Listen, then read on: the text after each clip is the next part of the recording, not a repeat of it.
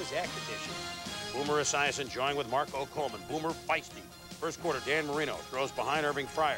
But Fryar knifes backwards to make the catch. Marino entering the game just 262 yards short of 40,000. More on that in a moment. Marino over the middle to Oh, let me tell you about Ted Jackson. Oh, Nelly, it's a touchdown. 57 yards, 7 of the Dolphins at the end of the first quarter.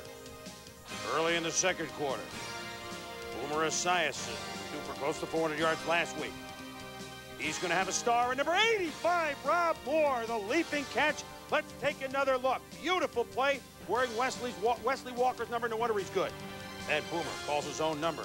The the boomer of him with a touchdown, and we're tied at seven all. Five minutes later, Boomer, play action, which he's so very good at, goes deep to Moore again. Moore caught five in the first half. Yeah, and Rob Moore shows that innate ability that Wesley Walker had to get deep and get behind the defense.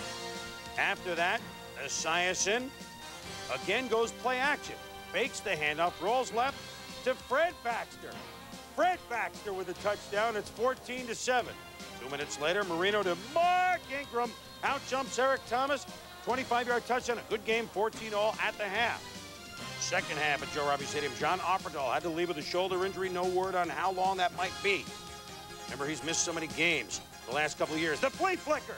Thomas back to Boomer to the diminutive what? Terance Mathis down to the Dolphins. 25 sets up a Blanchard field goal. 17-14 Jets. Jets keep Marino off the field in the fourth. Johnny Johnson lumbers to the right side for 20 yards. Dan with the towel on his shoulder, the schmutz rag isn't going to help. Same drive. Boomer to Pat Chaffey over the middle. 28 yards. J-E-T-S, Jets, Jets, Jets. They lead by 10. Marino, though, to Irving Fryar. Look at Irving cut back, get some blocks, and power down.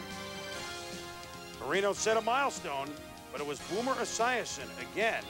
And Bruce Coslet gets his first win this year, a much needed win, I might add, as the Jets beat Miami 24 to 14. Boomer 323 yards today, which gives him almost 700 for the two games. He's gotten over 300 both weeks.